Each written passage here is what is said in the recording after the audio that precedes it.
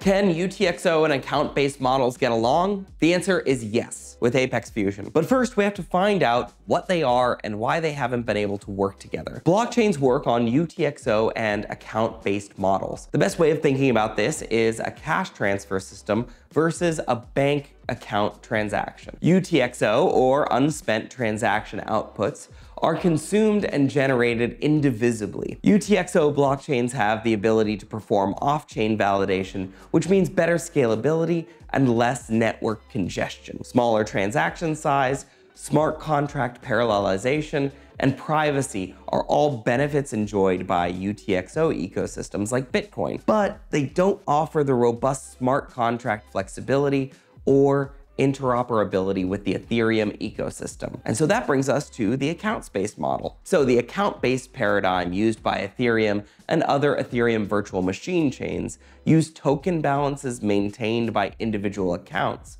which have a mutable state. This model encouraged the development and deployment of robust smart contracts and generated a huge user base. However, the account-based model struggles with doing multiple things at once. This leads to high transaction cost, throttled throughput, and failed transactions. So while the account-based models excel at creating decentralized application, UTXO is fantastic at performing value transfer. So how do we combine the strengths of these different models? This is where Apex Fusion's initial tri-chain architecture comes in. Our layer one prime chain based on UTXO lends decentralization and security to Nexus and Vector, our layer two chains. Vector gives you the high throughput of UTXO L2s while Nexus allows us to interoperate with a universe of EVM smart contracts. So can UTXO and account-based models work together? The answer is yes, right here on Apex Fusion. Find out more about our initial tri-chain architecture